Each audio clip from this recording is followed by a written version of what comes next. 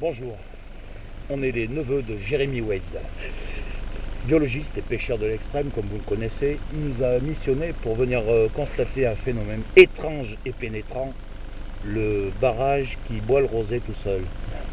Non, ça c'est une connerie. C'est en train de me faire tomber. J'en confirme.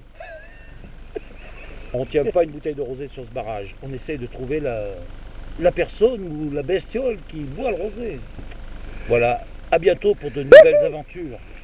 Oh putain En plus il est filmé là je crois. tu vas te sauter à la gueule. toi. Il va me faire un putain de nœud le truc là. Là, il y a le disque par Tu terre. vas te sauter à la gueule, tu vas voir. Il va, ça me merdier là. Ça fait mon même putain. Oui, c'est clair. Je vais voir ce poisson. Oui, il est beau.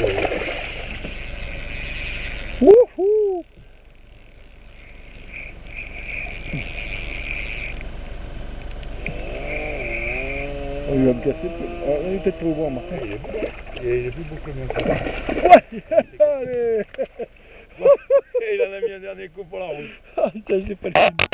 Il en a mis un dernier coup pour la route. Ah puis, il va tout couper. Hein.